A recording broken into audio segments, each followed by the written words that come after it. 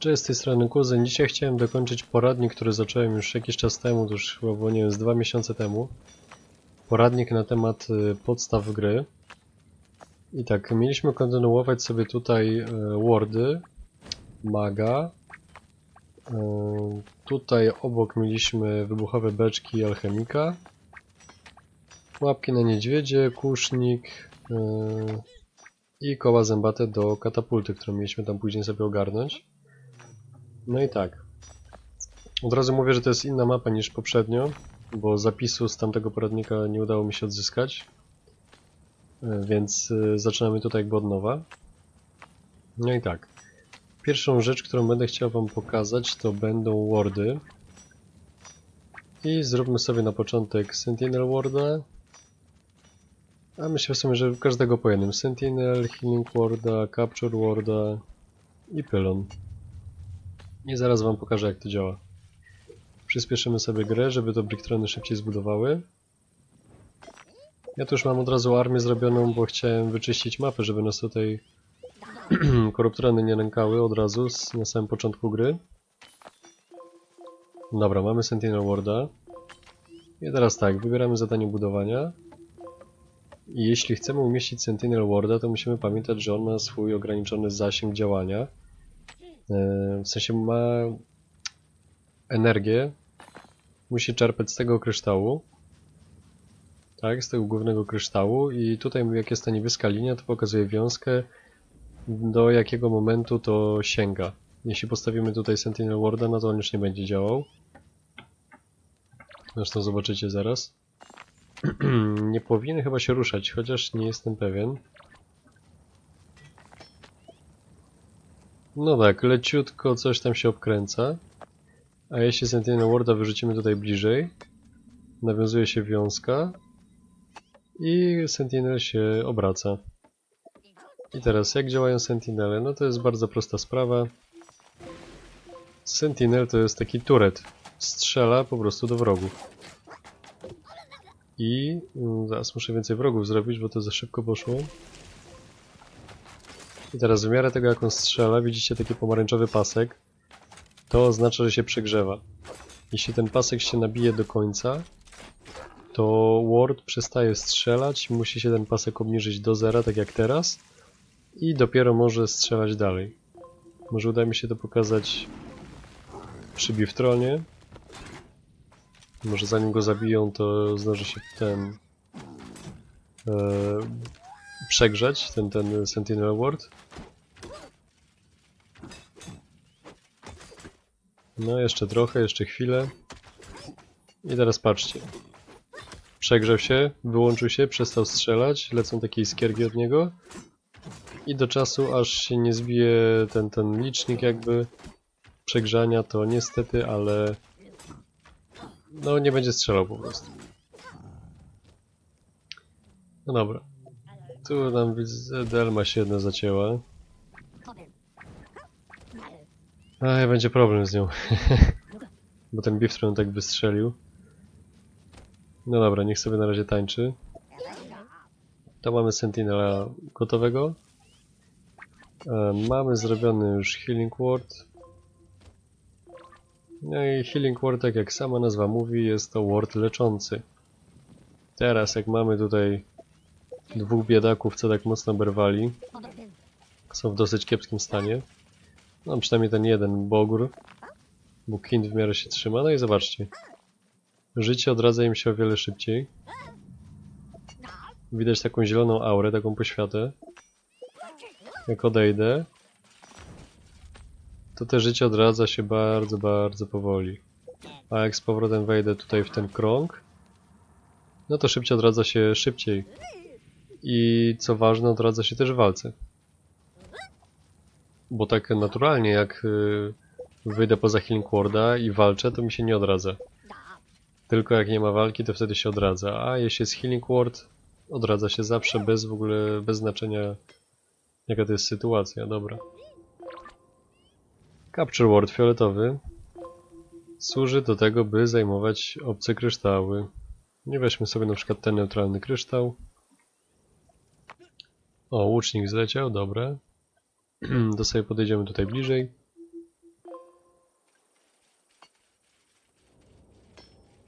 Czy ktoś niesie tego Capture Warda? Aha, idzie, dobra, bo już myślałem, że zniknął. No, idzie, idzie, idzie, idzie. I tak, Capture Word jest po to, żeby zająć dany kryształ, a im więcej mamy kryształów, tym szybciej regenerują nam się Bricktrony tutaj w tym krysztale, możemy ich więcej przyzwać. No i teraz to wiadomo, trwa jakiś czas.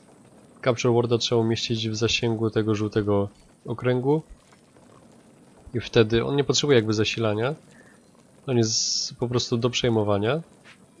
I taka ważna wskazówka, jak zajmiemy coś, to warto sobie to obudować tak, żeby po prostu koruptrony się do tego nie dostały, czy też inny gracz, bo oczywiście przecież inni gracze też mogą zniszczyć nasze capture wordy. I przeciwnicy ludzcy będą bardziej sprytni i mogą na przykład po prostu podejść i rozłupywać sobie po jednym bloczku i się dostać do tego. Koruptrony będą się trochę mieszać, będą bić tutaj bloki tak chaotycznie, byle jak. Więc wiadomo, no to co ja tu zrobiłem to jest taka podstawowa obrona. Lepiej dodać tego więcej. W przyszłości można też tu położyć sentinelę, żeby nie musieć stać tu wojskiem i pilnować tego punktu. To po prostu wziąć tego sentinela, przełożyć tutaj. On będzie miał zasilanie z tego kryształu i wszystko będzie działać.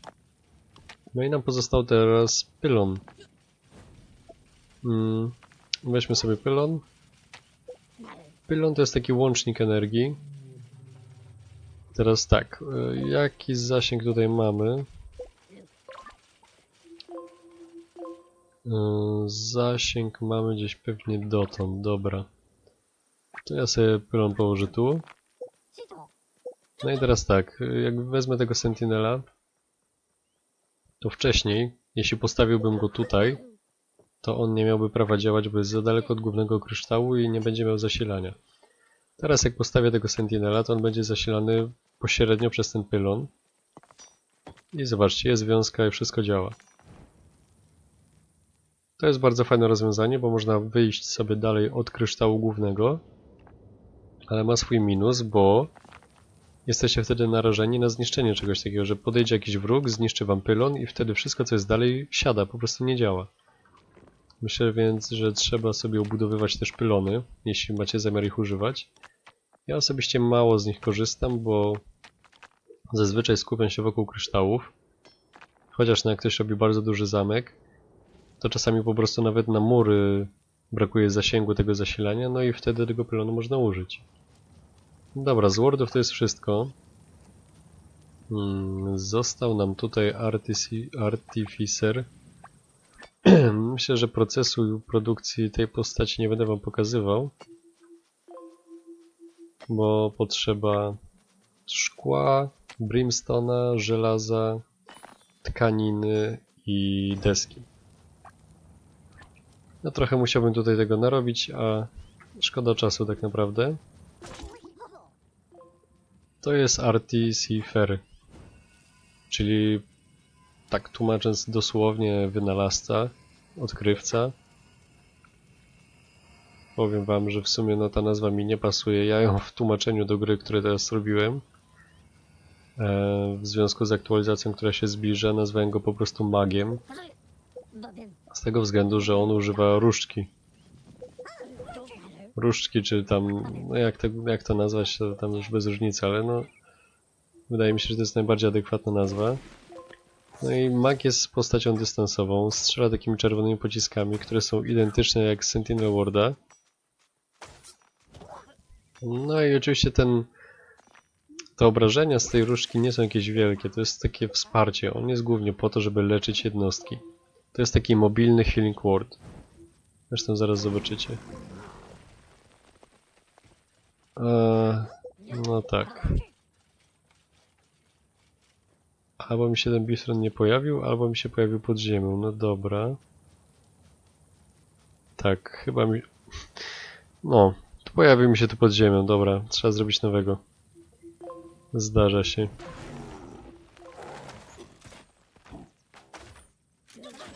No i teraz tak. e, przepraszam, musiałem sobie odkasznąć. Mm, czy zobaczę tutaj, że komuś spada życie?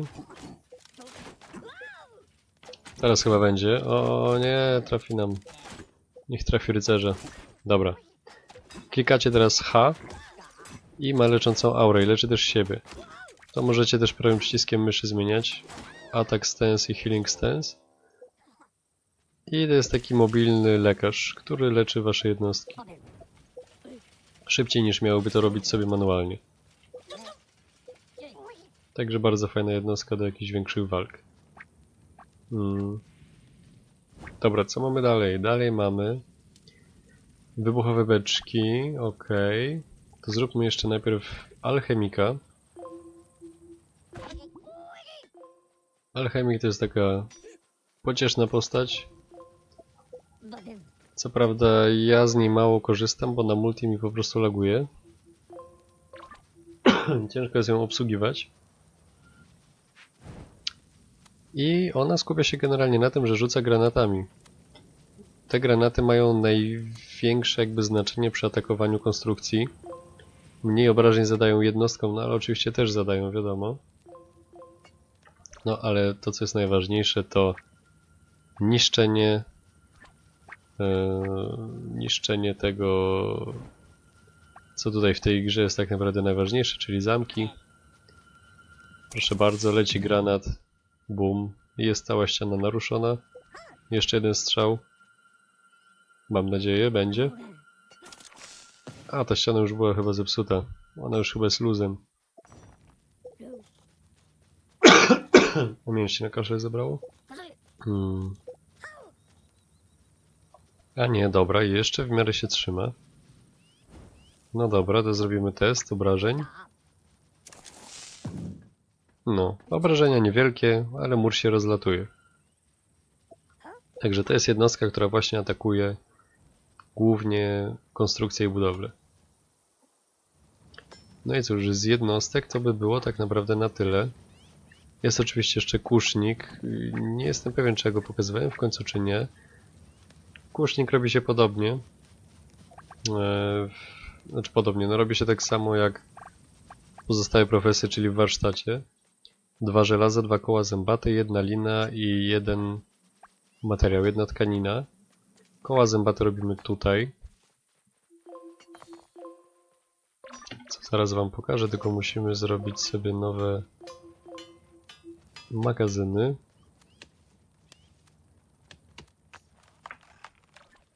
No już jedno koło zębate jest zrobione. No jak się to wszystko poskłada do kupy... A, to powstaje kusznik, którego już mam tutaj. Czym się różni kusznik od łucznika? Generalnie jest... Z, jakby różnica między nimi jest dosyć prosta. Kusznik zadaje więcej obrażeń, co możemy sobie w sumie przetestować. Podejdźmy gdzieś dalej. Ma mniejszy zasięg, ale zadaje więcej obrażeń, a łucznik ma, no tak wiadomo, analogicznie większy zasięg, a zadaje mniejsze obrażenia. No i dobra, niech oni sobie tutaj stoją.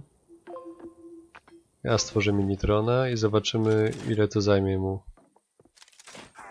Dwa strzały, trzy, cztery. Cztery strzały, dobra. Myślę, że w przypadku Minitrona to może być dosyć takie...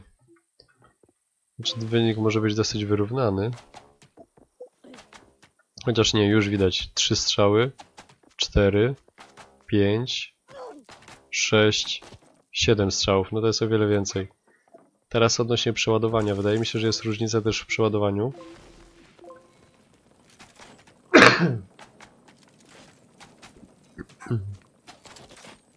Wydaje się jakby kusznik strzelał wolniej.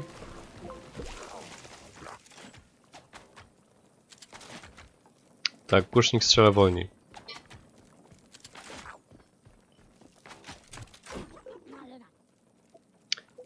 Więc kusznik tak naprawdę jest dobry do stawiania na obronę, na mury. Tak przynajmniej ja go widzę, jako taką jednostkę defensywną. Do ataku jest jednak lepszy łucznik, bo to wtedy szybciej strzela, jest taki po pierwsze jest tańszy, ataki często nie wychodzą. Oho, chyba chcę strzelać w tego, co jest pod spodem. No dobra, nieważne. Mm. Ataki często nie wychodzą, są straty, a lepiej stracić tak naprawdę zestaw łucznika niż kusznika. Jak łucznik to taka ostateczność do obrony. No ale dobra. Y, Pułapki na niedźwiedzie. Zrobimy dwie. I pokażę wam o co chodzi z pułapkami na niedźwiedzie.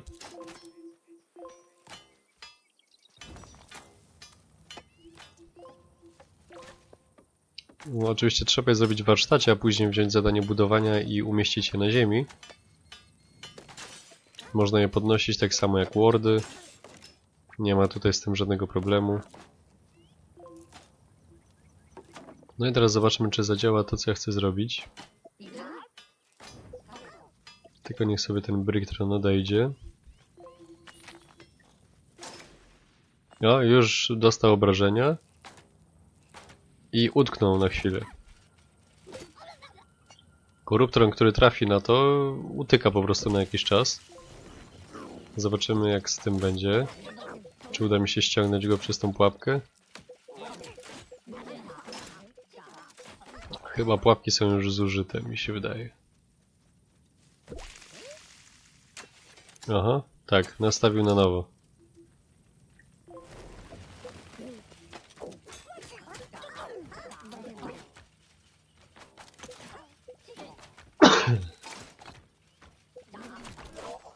Dobra, trochę bez sensu zrobiłem, że oni strzelają.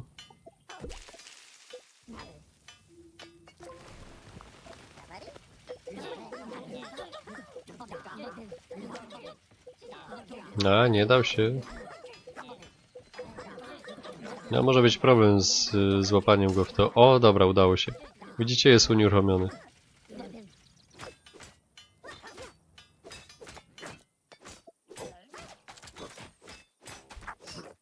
To się sprawdza głównie w y, wąskich przejściach, przed jakimiś murami i tak dalej.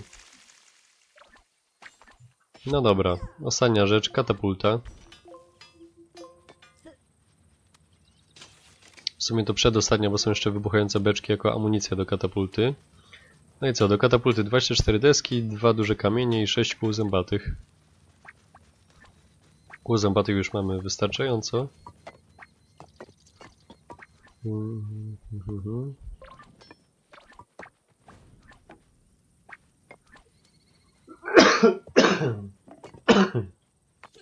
Przepraszam, że tak kaszla, jeszcze chory jestem. No ja stwierdziłem, że już nakręcę jakiś filmik, bo dawno nic nie było. Dobra, przyspieszymy czas.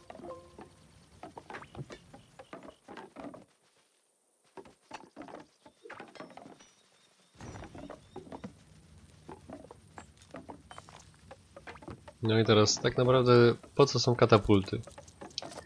Ich zastosowanie jest... No nie powiem, że średnie, ale z jednej strony tak, jeśli chcemy atakować wroga, musimy ją zbudować bardzo blisko. Jeśli tego nie zrobimy, no to po prostu zasięg się skończy. Jeśli... O, jak widzicie już została załadowana. Teraz będzie trzeba ją wycelować. E, Jeśli chcecie katapultę do obrony, no to jest dosyć ciężka sprawa, bo za blisko też strzelić nie może. O. Tu jak mi się na czerwono świeci, to jest ten obszar, gdzie nie mogę strzelać. No i pierwsza rzecz, że nie można za blisko. A druga, że nie można przecież e, strzelać swoje jednostki, tak? Dobra, tu ustawiamy cel. Tutaj wstrzymujemy ogień, tutaj strzelamy tylko kiedy są beczki. A tu strzelamy raz.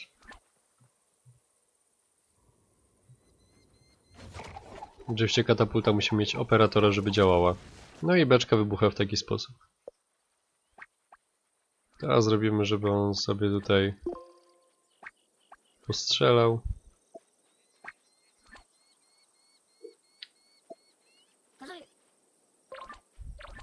No tego tą obsługę katapult powiem wam, że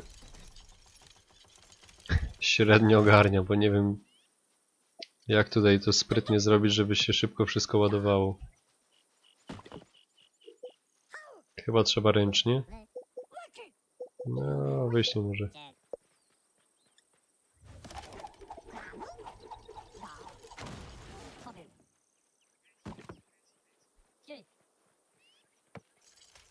No, zawsze znajdzie się ktoś, kto to odpali. A, dobra, poszło, bo już chciałem powiedzieć, że jednak nie.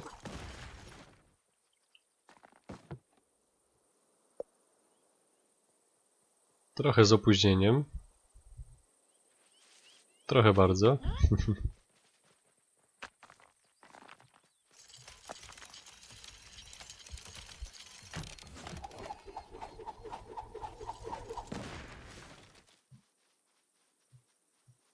No do tego Biftrona to chyba jeszcze mamy kawałek.